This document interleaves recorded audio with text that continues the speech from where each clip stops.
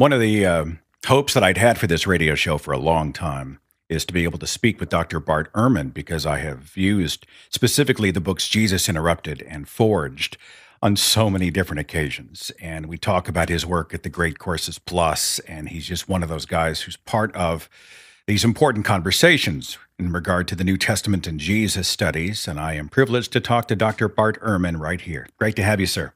Thank you. Thanks for having me. You are a prolific man. Uh, you know, it's funny. I was going through the biography, and I just think, is this all you do? Do you still teach? uh, how do you find the time? I do indeed teach. I teach a full load, uh, and, uh, yeah, well, uh, I think you know the thing is, I, everybody has 24 hours in their day. Uh, I I tend to be able to focus pretty well, and so I get a lot done in a short amount of time, uh, and uh, so that's just one of the things that I'm one one of the one of the few gifts I have. Well, specifically, we're talking about this, and I've been, I, I haven't quite finished it because I just received it. But uh, the book, The Triumph of Christianity How a Forbidden Religion Swept the World. My first thought is that the tone of it is unusual for a book that is written by someone who does not hold to the God man Jesus.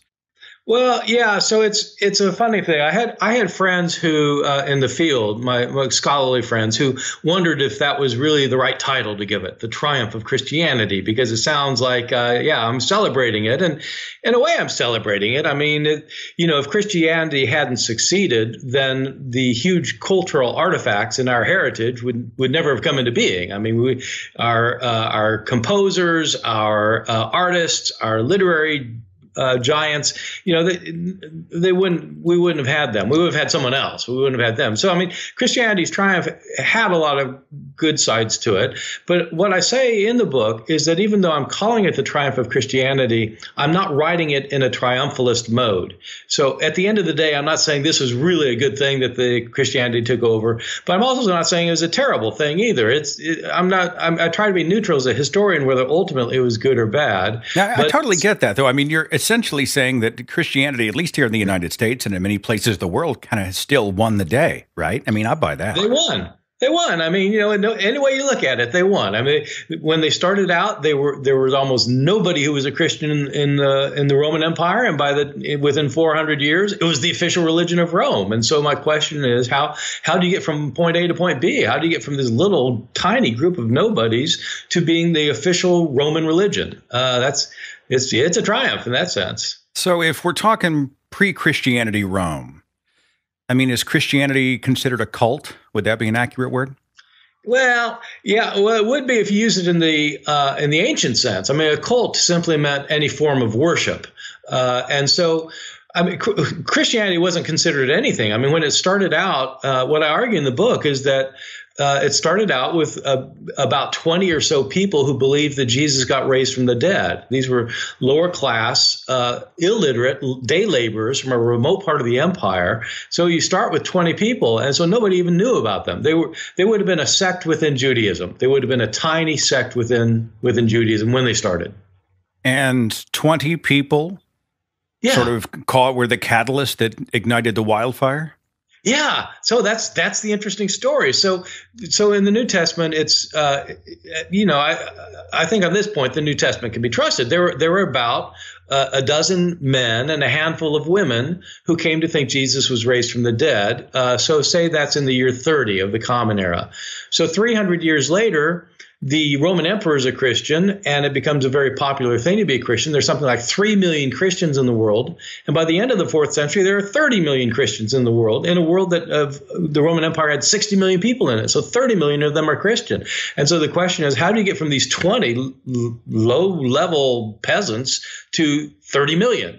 Uh, so whatever one makes it, you know, whether it's a good thing or a bad thing, it's it's certainly a huge cultural transformation. Can you qualify for that for me? I mean, I, I when you say the New Testament can be trusted, you can just, you mean it can be trusted and reliable in, on this particular point because. Yeah, yeah. Yeah, no, on this point, because I mean, I've made a career of pointing out that the New Testament has all sorts of problems with it, contradictions and discrepancies. And, yeah, yeah. I mean, on this particular point, there's no other way to conceive of it that that sometime after Jesus' death, I mean, whether we're talking about weeks or months, there are about 20 people who think he got raised from the dead. And then 400 years later, there are 30 million people who think he got raised from the dead. And so my question in this book is, how did that happen? It just seems completely unlikely, uh, but but it did happen. When we talk about the um, the rise of Christianity, the first, especially in regard to Rome, the first name that comes up almost always Constantine. Yeah. Constantine. Constantine. Yeah. And you yeah. argue that we may at least, you know, fractionally be missing part of the big picture as to the rise of Christianity. You want to explain?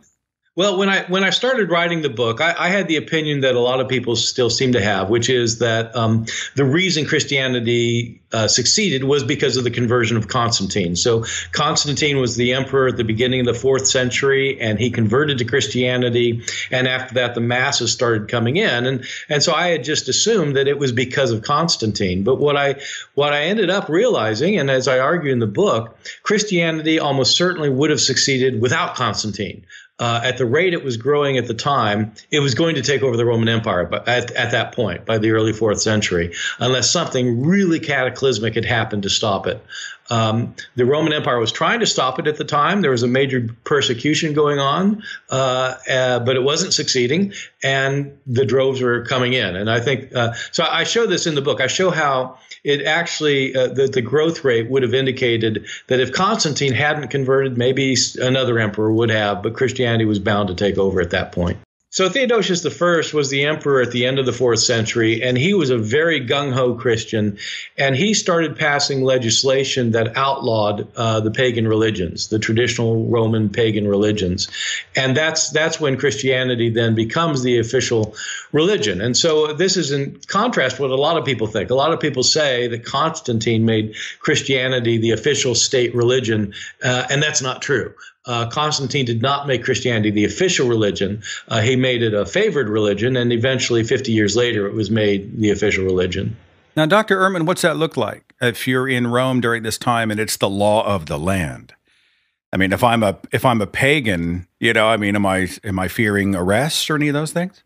Uh, you're not fearing arrest uh, so much, although um, what what ends up happening is the uh, Theodosius and then emperors after him start passing legislation that make it illegal for pagans to practice their religions. They're not allowed to perform sacrifices, for example, and their temples are shut down. Um, and so, if somebody does disobey the, this uh, this law, they could be fined. For example, if they're wealthy, they could have their property confiscated. There are various kinds of pen- pen- penalties. The the worst the worst of it, though, is actually not from the official uh, legislation that's being passed. Is that you get uh, some very um, fervent Christian monks and Christian bishops who uh, decide to take the matter into their own hands, and they they will occasionally destroy temples and shrines and cult statues, and uh, yeah, and so there there can be violence and occasionally murders, but um, you know, it was more the exception than the rule. Interesting contrast in your book about you know there Constantine was promoting the living God you know, he's alive, he's with us, you know, that type of thing, as opposed to the pagan gods, which were represented by sort of these dead, still, inanimate objects. It was uh, part of the pitch then, you know, reject the old dead religion and join the living God. Well, it was absolutely the pitch. Uh, it's absolutely the pitch, and the the irony is that these pagans didn't think they were worshiping dead gods. Uh, they weren't actually worshiping these idols per se. They were worshiping the gods that they thought were completely active. Uh, the the great gods Zeus, Athena, Apollo, or you know in the Greek circles or in the Roman circles, uh, Jupiter, Juno, uh, Ares, etc. These were uh, these were gods who were very active in the life of the community and the life of the state and the life of the family. Uh, but Christians insisted that their God was the only active God, and they had to convince people that that was the case. I see. And the pagans being polytheistic, that's another switch for them, right? Instead of many, we'd like to sort of whittle you down to the one.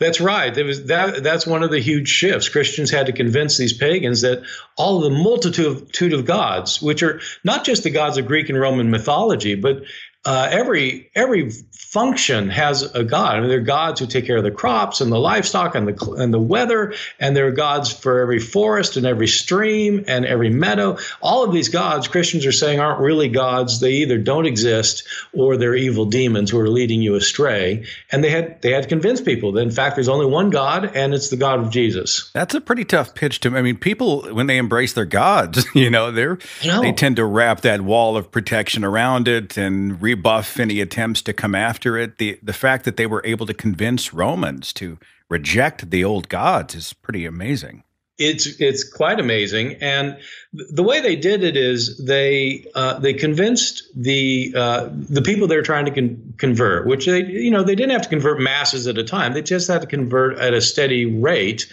over time. What they did is they convinced them that the Christian God was more powerful than their gods, and so you say your God can heal, our God heals better. Uh, our God casts out demons. Our God can actually raise the dead. Our God is more powerful. And if you come to think that the Christian God is more powerful, then you start worshiping that God. But the thing that made the Christian God different from all the other gods was that he was a jealous God who said that he alone is God and that if you worship him, you cannot worship the others. And this is un- this is almost unheard of in the pagan world, where if you decide, you know, well, I think I'm going to start worshiping Zeus now, you, you don't give up worshiping whoever you're worshiping already. You just start worshiping Zeus now, and you, you continue worshiping Apollo or Athena. Uh, in Christianity, if you start worshiping the Christian God, you have to give up all the others, and so that that made the big difference. Kind of a my daddy is bigger than your daddy. My dad can beat up your dad kind of deal, right? He, he can beat up your dad, and you can only have one dad, and so you can't have you can't have twenty nine dads. It's just one. So, in your book and in what little research I've done, you know, the cursory research I've done about Constantine, it I you know, I feel like was he what in the faith you and I might have called a baby Christian, right? He's a powerful guy, he's an enthusiastic new convert, but he didn't have a lot of knowledge about his own faith. He just knew he believed it. Is that accurate? Yeah, well, it's it's interesting. So I have a I have a whole chapter on the conversion of Constantine and what it meant to him, and um, when when he converted, it's pretty clear he was completely a baby Christian. He didn't really know what he was getting into. What he what he became convinced of at the very beginning was that the Christian God was more powerful than the gods he had been worshiping, and he decided that he needed to have the most powerful God on his side because he was involved in a civil war, and he needed divine power to win this war. And he had some kind of visionary experience that I talk about in, in the book um, that led him to think that the Christian God was the most powerful God. And so he lines up with the Christian God, he goes into battle, and he wins the battle. And this convinces him uh, that he was right. This is the more powerful God. And from then on, he, he developed into a believing Christian, one who actually knew what he was talking about. But at the very beginning, uh, he had a very, very basic uh, understanding of what it was all about. In the church, we would always see these people who had just accepted Christ. They'd said the salvation prayer and they were just all in 100% full bore nitro enthusiasm. Yeah. yeah. But they really had no idea what the Bible said. They didn't know yeah about Jesus himself or Jesus's words in the New Testament. They they just knew they believed, and then they would go off into the quote unquote mission field and often be overwhelmed, uh, and you know you can see uh-huh. them coming a mile away. So. Yeah. Well, I think you know that happened to a lot of us. I mean, I, I was in that boat as well when I was a teenager, really committed and completely ignorant. That's a bumper sticker. Really committed, completely ignorant. Okay, I got that. I want to come back to your story at the end of the conversation and, and kind of get personal. But I want to come back to the Bible, the New Testament specifically. You had mentioned in your book that the people who had written the scriptures did not know at the time that they were writing the Bible. Well, so uh, the person I talk about most in this book is the Apostle Paul, uh, who is uh, a good one to talk about with respect to the New Testament because of the of the 27 books in the New Testament, 13 of them claim to be written by Paul. Uh, these letters that Paul wrote are actual letters. Uh, he he has started a church someplace, and people are then have become Christian. They've converted from being pagans. They're worshiping together every week, and he then leaves to go to another city to start another church, then to another city to start another church, and over time he hears from his from his converts about the problems they're having. And he writes them in order to deal with these various problems about what to believe, about how to behave, about uh, problems that they're having. And so the letters of Paul are actual letters sent through the ancient equivalent of the U.S. Postal Service. They, the, so he, he had no idea that he was writing scripture. He simply was writing his churches. Uh, later Christians, much later, started saying, actually, these are authoritative texts for us. They're not just for the Corinthians or the Philippians, they're for all of us. And they started gathering together, and then they started thinking of them, actually, these are as these are as authoritative as the whole as the Hebrew Bible, the, the Jewish scriptures. And so they started considering these letters the Bible. And so uh, all of the books of the New Testament have some kind of um, occasion or context like that, that uh, these people didn't have any idea that they were writing texts that were going to be around for 2,000 years and revered for their, uh, for their inerrant revelation. They were just writing books. That's interesting. I mean, how do you get from Paul is sending a letter to Corinth, you know, some guidance and instruction, perhaps even correction, to this is a message that should be embraced by the entire world for all of posterity? I mean, that's just it blows it your is. mind. Well, yeah, probably would have blown his mind too. I mean, he he certainly had a high view of himself, and he had a high view of his authority. But the idea that people would look upon these occasional letters that he wrote as being, uh, you know, given by God, uh, that yeah, that that that's quite a it's quite a shift. But it's because the early Christians who were deciding what is the right thing to believe and what how what are the right ways to behave, especially in, in the decades and centuries after Paul, they they had to find some authorities to direct their actions and their beliefs, and they ended up saying Paul is the one who directs our actions, and, and so he, he takes on a kind of authority that he didn't have in his own day. If you had to line all the apostles up, I get the vibe that for you, Paul is the cornerstone of the whole story. Well, the reason I think he is is somewhat different from what a lot of people say. Uh, some people say that Paul invented Christianity. Uh, and that can't be true because Paul was persecuting Christians before he became a Christian. And so if he invented Christianity, he would have had nobody to persecute. So that's not right. Uh, and it's not right that he invented the idea that Jesus' resurrect, death and resurrection brought about salvation because that's what Christians were saying before him. The thing that made Paul really key, uh, as I as I argue in this book, is that he realized that followers of Jesus, this Jewish Messiah sent from the Jewish God to the Jewish people, followers of Jesus did not have to become Jewish. Uh, you could be a you could be a converted pagan and believe in Jesus and in the God of Jesus, uh, but you didn't have to adopt the ways of Judaism. And this realization made it possible for Christianity to move away from being a sect within Judaism to being a worldwide religion. And if that hadn't happened, then uh, Christianity would have ended up with the kind of historical significance of other Jewish sects, and they'd be as historically significant as the Sadducees or the Essenes, who, you know, which are groups that are important for historians of ancient religion, but they're not exactly uh, the, the, sorts of things people worry about these days. And so, but so he made it possible for Christianity to be to, to become what it did, which is the dominant religion of the empire. I think it's interesting too that, uh, like Constantine, Paul's conversion was really a switch. It was like a 180 going from yes. persecuting the group to leading the group. It was quite a dramatic change huge change. I, I argue in the book that these they that those two, Paul and Constantine, were the two most significant converts in the history of Christianity. Um, and it's it's an easy case to make with both of them actually because without Paul you wouldn't have had Christianity as a worldwide movement. And Constantine I mean he was the emperor. I mean yeah. this is like the emperor converted. So how do the orthodox Jews feel about all this? I mean the hardliners. You know Paul is saying ah come on. You know you don't need to be uh, to practice Judaism to be a Christian. How are they reacting to this message well, my sense is that that uh, that the uh, traditional Jews who were committed to their Jewish tradition, their tr- Jewish tradition, were incensed particularly by Paul's claim and the claim of other Christians that Jesus was the Jewish Messiah. Um, a lot of Christians today have trouble understanding why that view is so offensive to people. But it's because today people think that the Messiah was somebody who's was supposed to die for sins and be raised from the dead, which is what the Christians said Jesus did.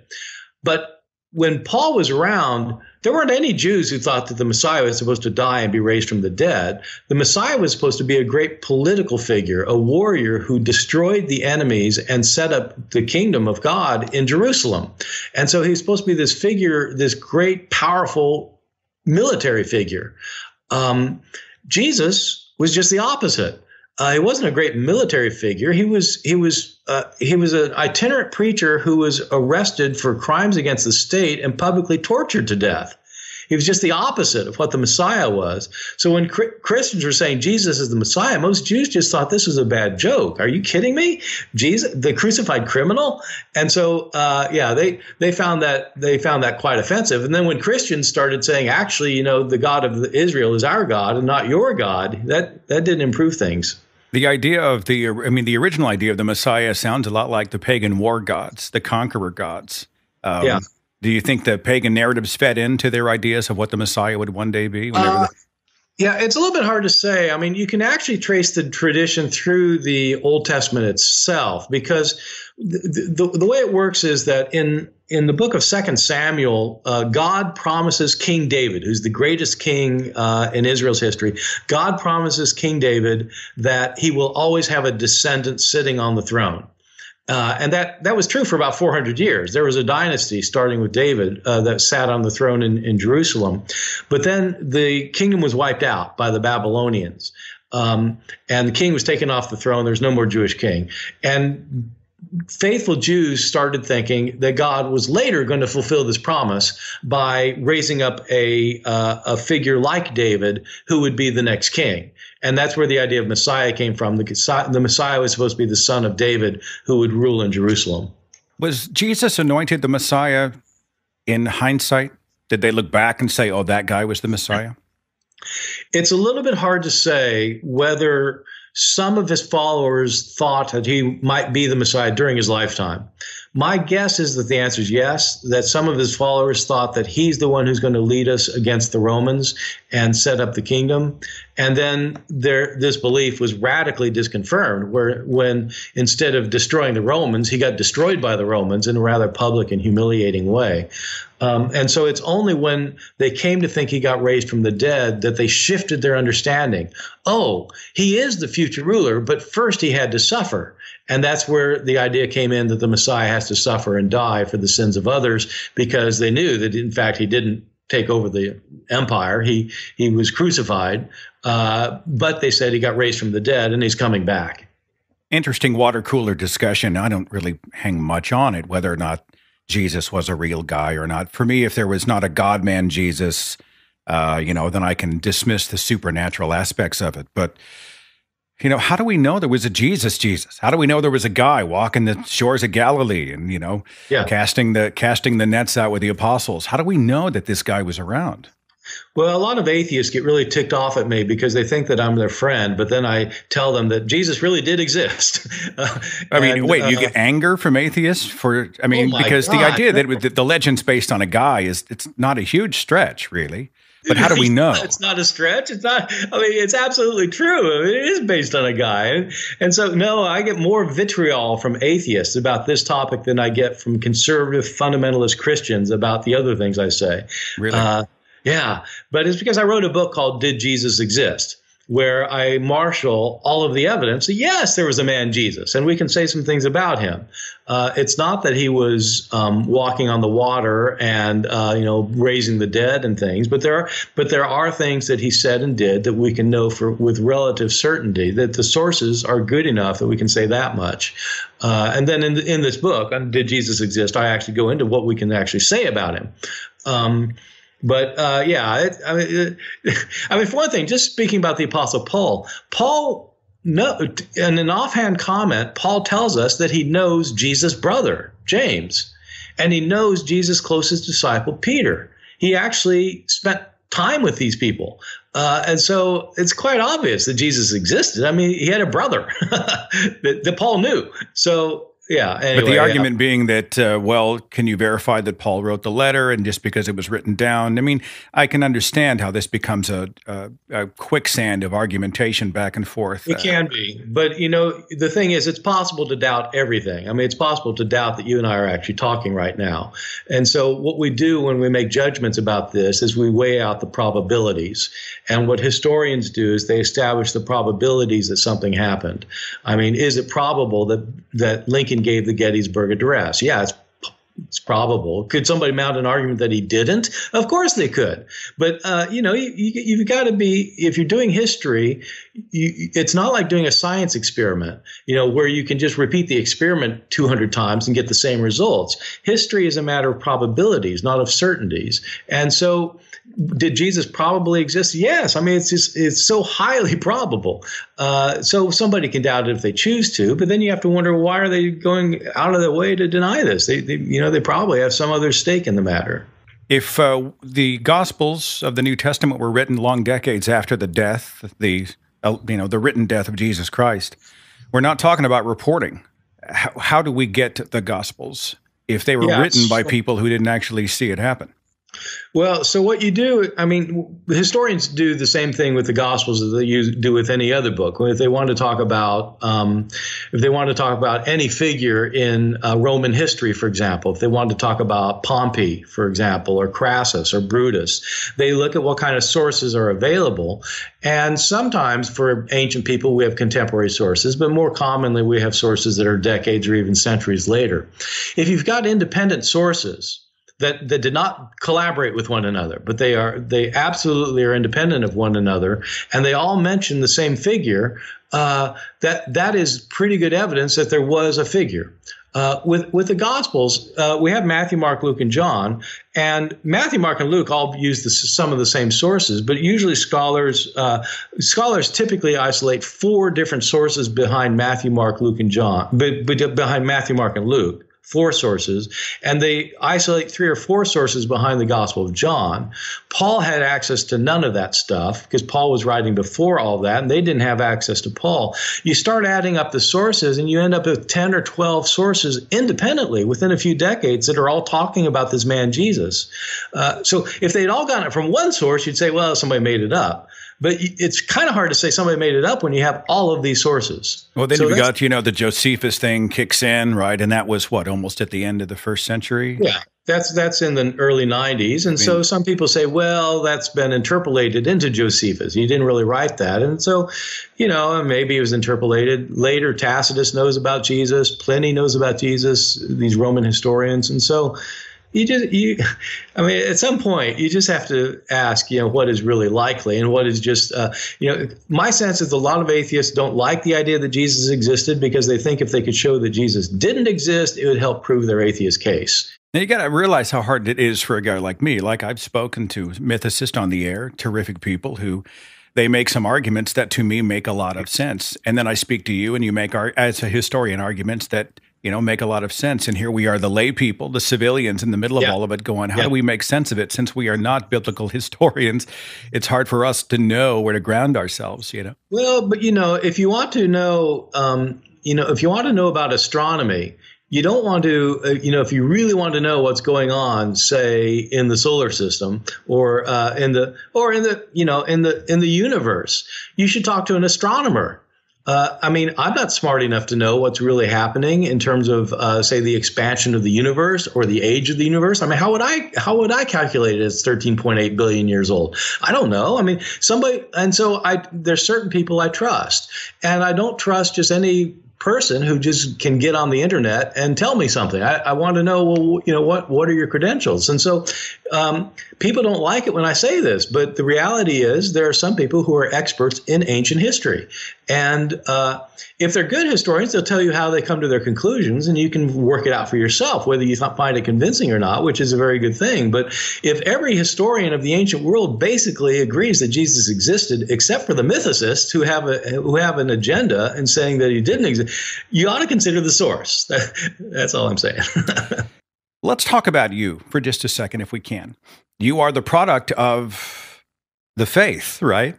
Yeah, yeah, yeah. I was I was raised a Christian, and then uh, in high school, I had a born again experience and became a conservative evangelical Christian. And I went off to a fundamentalist Bible college for three years and went to a Christian liberal arts college. I was a complete uh, evangelical Christian who is out to save the world. It's interesting how seminary becomes this weird sort of fork in the road for some. You know, you see some people who become more skeptical and some people who just buy in all the way. You seem to have become yeah. more skeptical as far as, you know, the the the magical properties of the Jesus story.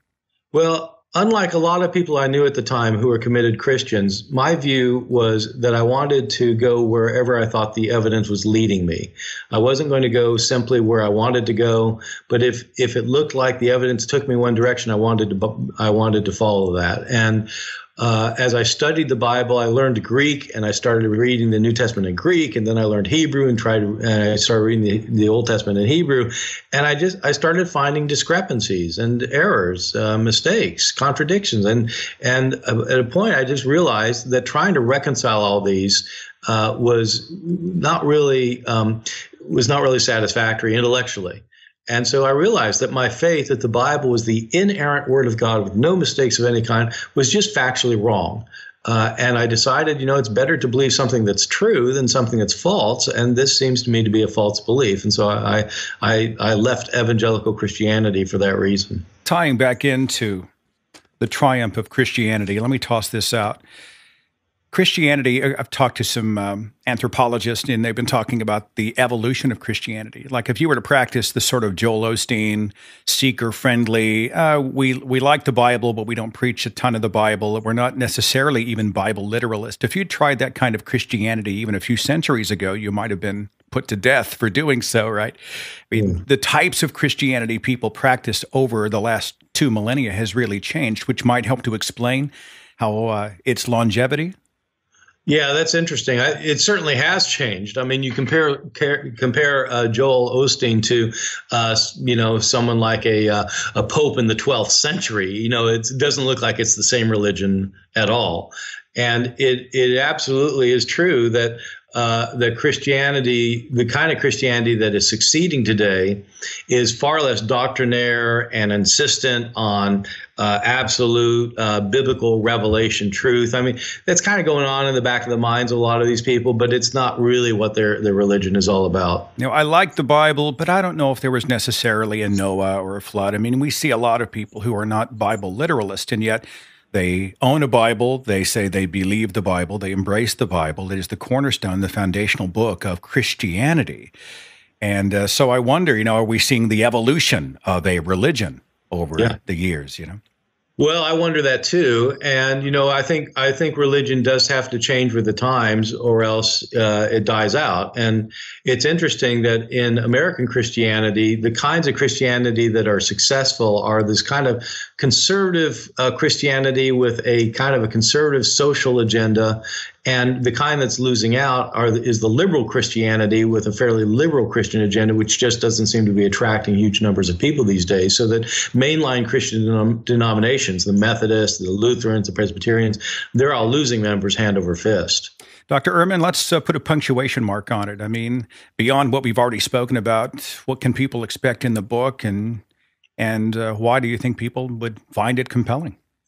Well, I, do, yeah, it sort of gets us back to where we started. I, the the the triumph of Christianity, the, the, fact that Christianity took over the religions of Rome, ended up having a, the most enormous cultural impact on our world. Christianity became the most powerful force in Western civilization, whether look not just religiously, but socially, culturally, politically, economically. The Christian church dominated most of our history uh, up until recent times, and it provided us with all of the cultural or artifacts that we cherish, whether you're talking about um, uh, art or literature or music, uh, or if you go into realms like philosophy, without the Christian triumph, everything would have been incalculably different. And yet it didn't have to happen. And how, how did it happen? How do these 20 or so lower class peasants from rural Galilee become a church of 30 million and then become virtually the entire, the entire, the religion of the entire West? Uh, and so that's, that's what the book's about. And it strikes me as being unusually important.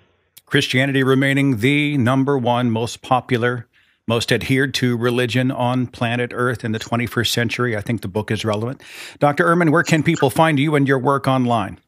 So there are two places. I, I have a website, bartdehrman.com. So Ehrman is E H R M A N.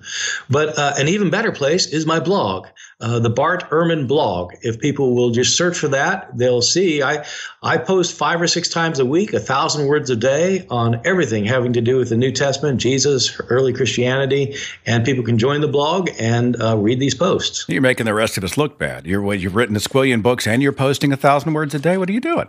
I yeah, mean, come on, slow down, man. Okay, you know, yeah, sorry, yeah, set right. the bar lower. Uh, Dr. Bart Ehrman, I'm going to finish this sucker this week, my friend. Thanks for talking to us. Thanks for walking yeah. us through some of the highlights. I would encourage everybody to to take the book, jump in, dig in, and explore this amazing story. It's it's a wonderful sort of a forensic look at at the religion beyond the claims in the Bible, but how did it happen? Why did it happen? And why does it continue to be popular today? Dr. Bart Ehrman, it's been a pleasure to speak with you. Thank you. Great. Thanks for having me.